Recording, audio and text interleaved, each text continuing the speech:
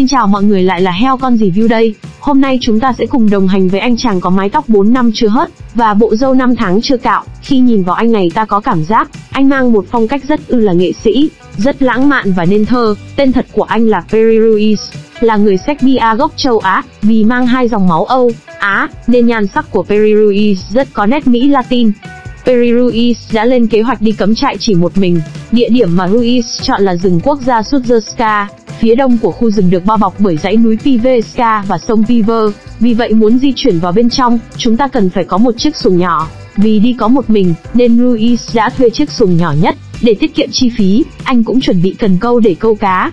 Đến nơi Ruiz soạn đồ đạc của mình ra, đây là những dụng cụ chuyên dụng phục vụ cho chuyến cắm trại lần này. Trước đây Ruiz cũng có vài lần đi cắm trại, cùng với bạn bè của mình, lúc đó Ruiz toàn đi tay không, vì đồ đạc đã có những thằng bạn chuẩn bị sẵn, còn giờ anh đi chỉ một mình, nên phải tự tay mua mới tất cả.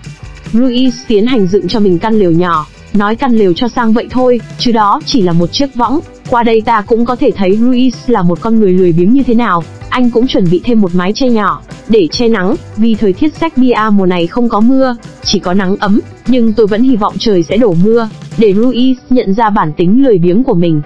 Tiếp theo Ruiz chuẩn bị một số cọc nhọn, chỉ to bằng đầu bàn tay, vì đi vội nên anh quên mang theo búa. Anh dùng một cái cây khác để đóng cọc xuống đất, tôi cũng không rõ tác dụng của việc này là gì, chắc có lẽ Ruiz muốn đánh dấu vị trí và địa bàn hoạt động của mình. Nói sơ về Ruiz, anh từng là một thợ bạc ở Novi Pazar, một thành phố nằm ở phía tây nam của Serbia. Cái nghề thợ bạc đã nuôi sống anh trong nhiều năm, nhưng khoảng cỡ một năm đổ về đây, công việc kinh doanh của Ruiz bắt đầu gặp vấn đề. Cái vấn đề ở đây là có quá nhiều đối thủ cạnh tranh. Đối thủ lớn nhất của Ruiz chính là Johnny Đặng. Mức độ truyền thông của Johnny Đặng chúng ta đã biết là khủng như thế nào, nên một người lười biếng như Ruiz phải xin thua. Chuyến cấm trại lần này giúp Ruiz thoải mái đầu óc, và cũng là nơi tịnh tâm để Ruiz suy nghĩ kế hoạch chống lại Johnny Đặng.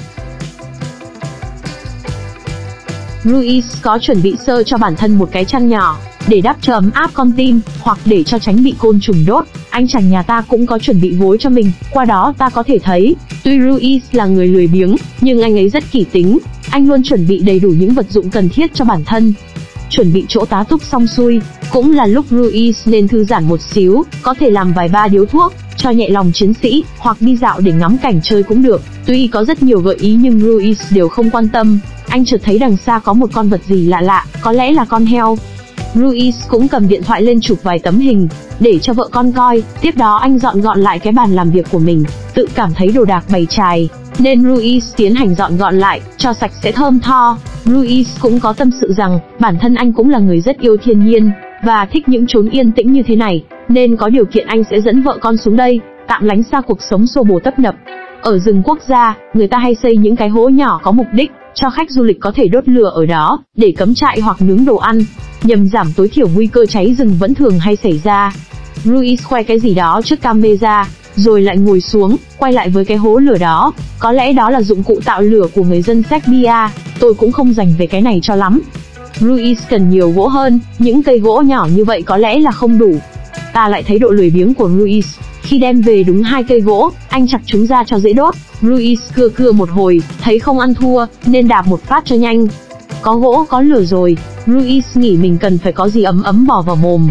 Anh nấu cho mình một ít nước sôi, anh ta chà chà cái nắp lên cái bụng vệ của mình, rồi đóng nó lại, làm như vậy theo Luis sẽ giúp nước mau sôi hơn. Vì là một người lười biếng nên Ruiz dù đi vào rừng, cũng chẳng săn bắt hái lượm gì để mà ăn, thay vào đó anh mang theo một gối cream brulee để ăn. Cream brulee là dạng thức ăn nhanh đóng gói, thường được ưa chuộng và sử dụng rộng rãi ở Bắc Âu. Thức ăn này có hình dáng là dạng sợi, với nước súp tôm có màu vàng mịn đẹp mắt, được trang trí thêm những miếng cà rốt hoặc thịt sấy khô, hay đơn giản hơn nó còn được gọi là mì tôm. Ruiz đặc biệt rất thích ăn mì tôm, anh có thể ăn cả tháng cũng không ngán, bởi vì ăn mì tôm nhiều nên Ruiz mới có được cái thân hình như con voi tai tượng. Thấm thoát cũng đến cuối ngày, những ánh nắng dần tắt, Ruiz có cảm giác đón hoàn hôn như thế này là rất thú vị, bởi ở thành thị Ruiz không khi nào rảnh để ngắm hoàn hôn. Và buổi sáng cũng đã tới, Ruiz lại có đôi điều muốn chia sẻ, là anh đặc biệt rất thích cái sự yên tĩnh và không khí trong lành của nơi này. Như nhà thơ Nguyễn Bình Khiêm đã từng nói, ta dạy ta tìm nơi vắng vẻ, người khôn người đến trốn lao sao. Hai câu thơ này rất hợp hoàn cảnh của Ruiz bây giờ, mặc dù thích là một chuyện, nhưng do còn lo toan bộn bề với công việc, nên Ruiz cũng không thể ở đây lâu hơn nữa. anh đành nhanh chóng thu dọn đồ đạc và trở về với cuộc sống thường nhật. Ruiz dọn dẹp với tốc độ ánh sáng, bởi vì trước buổi trưa, anh phải có mặt ở nhà mình, để kịp ăn cơm trưa với vợ con. Chúng ta được biết thêm một đức tính tốt của Ruiz. Ngoài lười biếng ra, anh còn ham ăn nữa. Và Ruiz cũng dập tắt ngọn lửa để kết thúc buổi cắm trại của mình. Lúc đi vào Ruiz đi bằng xuồng, thì lúc đi ngược ra Luis cũng đi bằng xuồng. Anh tự nhủ lòng là sẽ có thêm nhiều buổi cắm trại như này nữa. Từ đầu clip ta thấy Ruiz dùng cần câu để câu cá, thì lượt về lần này, anh vẫn câu cá tiếp, tôi không biết Ruiz làm vậy để chi, chắc là để làm màu, bởi vì Ruiz có câu được con cá nào đâu, mà có câu được thì cũng chẳng để làm gì, tôi thấy điều đó rất là vô bổ. Vậy là Ruiz cũng đã hoàn thành chuyến cắm trại đầy niềm vui của mình. Video đến đây là hết, nếu thấy hay hãy cho mình xin một like và một subscribe. Bấm nút chuông để xem những video mới nhất. Cảm ơn cả nhà đã ủng hộ heo con review. Hẹn cả nhà ở video lần sau nha.